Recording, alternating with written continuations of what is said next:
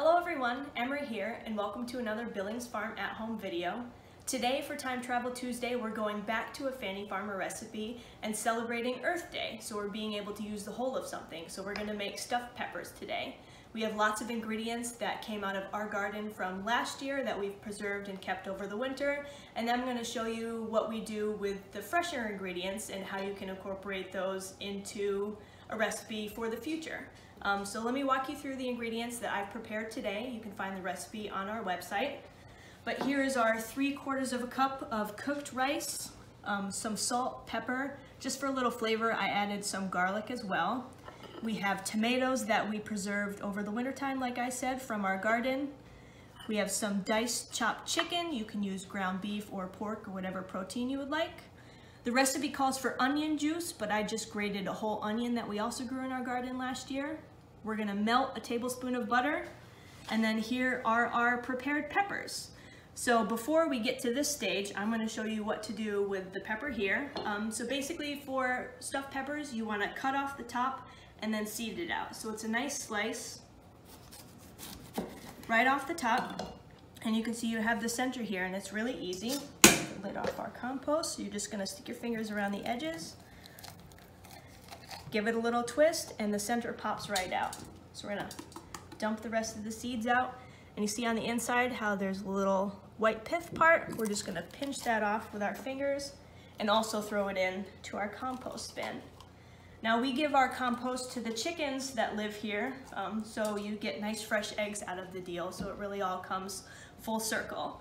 And for the top part that you cut off, um, we'll dice this up and then be able to use it for a future recipe. And to finish preparing the pepper, we're gonna parboil this, so put it in a little salted boiling water and set your timer for eight minutes. That gives the pepper a pre-cook uh, before we stuff it with all of our ingredients. Um, so yeah, here we go.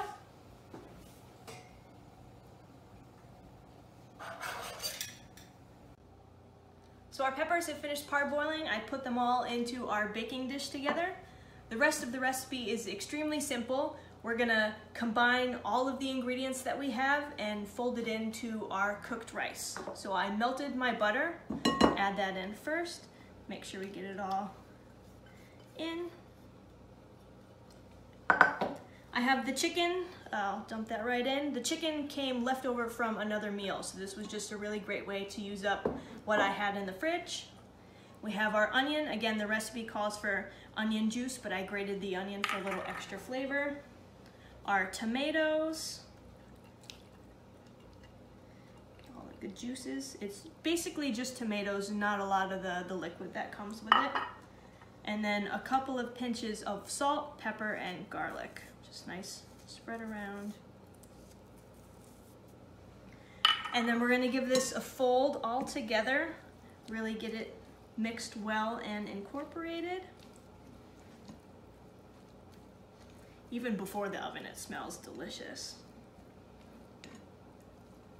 And once it's fully mixed, all that's left to do is to scoop the filling into our peppers and then bake that in the oven at 325 degrees for 20 to 30 minutes. Here goes the last scoop of our delicious filling into the pepper.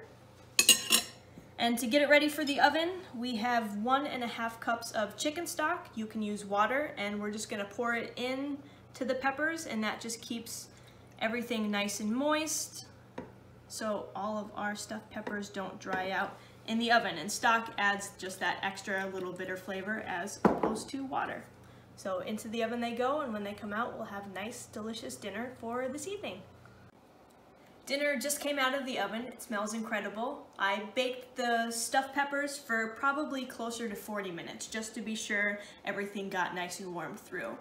As a finisher, you can have it just as it is, or feel free to shred some Billings Farm cheddar cheese on top. Uh, the pepper should be warm enough to melt it, but if not, sticking it under the broiler for a couple of minutes will get the cheese nice and melty and crispy. If you have any question about this recipe or video, please feel free to leave it in the comments below, and we will see you back next week for Time Travel Tuesday.